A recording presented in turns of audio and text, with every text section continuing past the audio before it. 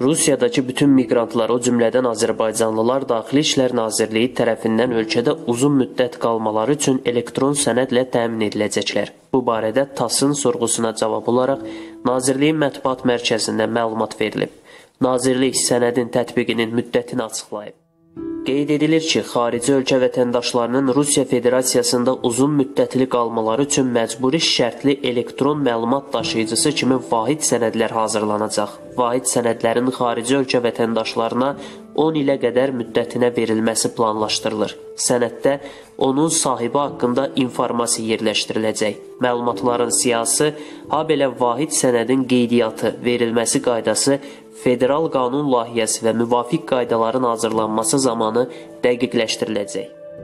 Daxili İşlər Nazirliyi apreldə bildirib ki, ölkədə Özbəkistanın 300 min nəfər, Tacikistanın 200 min nəfərdən çox sakini, həmçinin Ukraynadan, Azərbaycandan, Ermənistandan, Qırğızıstandan və Qazaxıstandan 100 minlərlə miqrant var. Nazirlik apreldə onların Rusiya ərazisində qalma müddətini uzatmağa söz verib.